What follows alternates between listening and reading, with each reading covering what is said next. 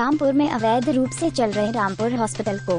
प्रशासन ने किया सील रामपुर में, डीएमसीओ सिटी और एसीएमओ ने मारा रामपुर हॉस्पिटल पर छापा। हॉस्पिटल की कमी पाने के कारण किया सील रामपुर के। महिला थाने के पास रामपुर हॉस्पिटल काफ़ी समय से चल रहा था, जिसे S D M A C M O C O city Ashutosh द्वारा हॉस्पिटल का निरीक्षण किया गया, जिसमें रामपुर हॉस्पिटल में मरीजों के इलाज में भारी अनियमितताएँ पाई गई और जिस सर्जन द्वारा ऑपरेशन किया गया, यह स्पष्ट न मानते हुए अस्पताल की गतिविधियाँ संदिग्ध मानते हुए कार्रवाई की गई व अस्पताल को सील किया गया है। अस्पताल में इलाज चल रहे मरीजों को एंबुलेंस द्वारा रामपुर सरकारी हॉस्पिटल में भर्ती करा दिया गया है। साजिद बेग कौन से हॉस्पिटल में थे रामपुर हॉस्पिटल। ये जो आज कार्रवाई हुई आपके हॉस्पिटल क्या है? क्या चीज़ अनियमितता पाई गई ये कोई खास अनियमितता इसमें नहीं थी।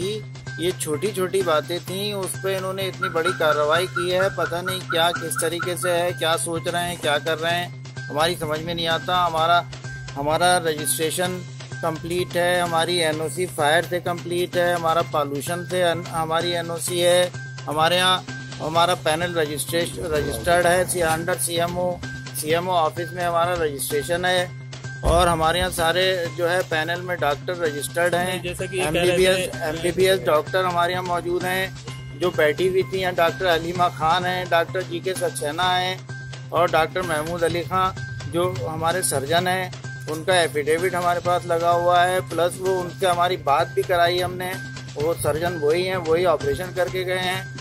और उनसे हमने इनकी बात भी करा दी। फिर उसके बाद भी इन्होंने सील कर दिया। ये बिल्कुल एक पक्षी कार्रवाई की गई है अपनी तरफ़ से।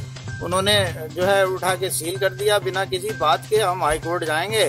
हाई कोर्ट से हमें हमें जो भी राहत मिलेगी वो उसको हम देखेंगे। डेट्स ऑल रामपुर हॉस्पिटल पे ये यहाँ छापा लगा है क्या मामला है ये? देखिए आज रामपुर हॉस्पिटल जो हवालिया चौकी के पास है उसका निरीक्षण एडीएम साहब सीओ साहब और मेरे द्वारा किया गया।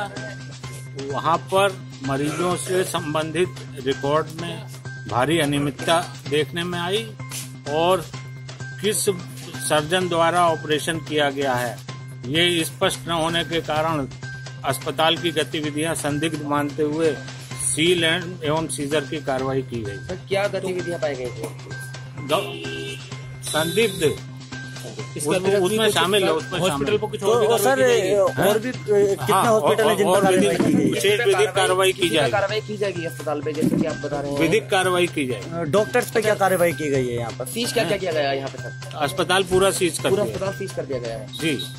अच्छा, कितने मरीजों को मरीजों को जिला चिकित्सालय स्थानांतरित कर दिया गया।